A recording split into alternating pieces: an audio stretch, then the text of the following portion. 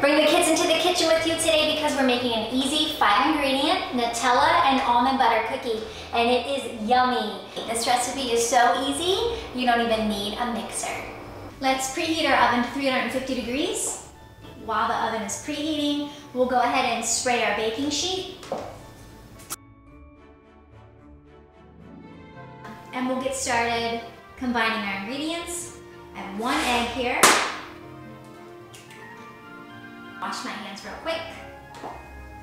Two tablespoons of cocoa powder.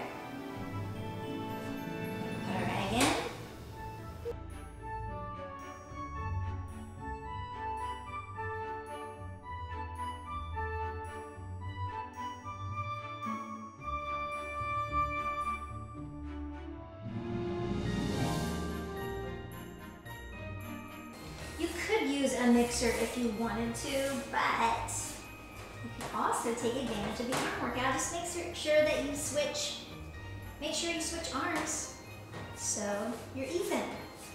We're gonna spoon one tablespoon of the mixture, placing them about one inch apart on the cookie sheet. I love to use my cookie scoop. I think this is one of the best investments for your kitchen.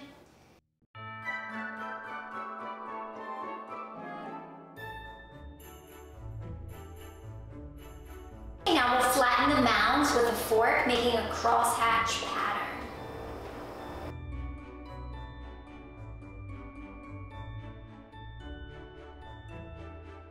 The oven is preheated, let's go ahead and put them in the oven. Set a timer for eight to 10 minutes. Checking on them after eight minutes, you want them to just be a little bit golden crisp on the edges.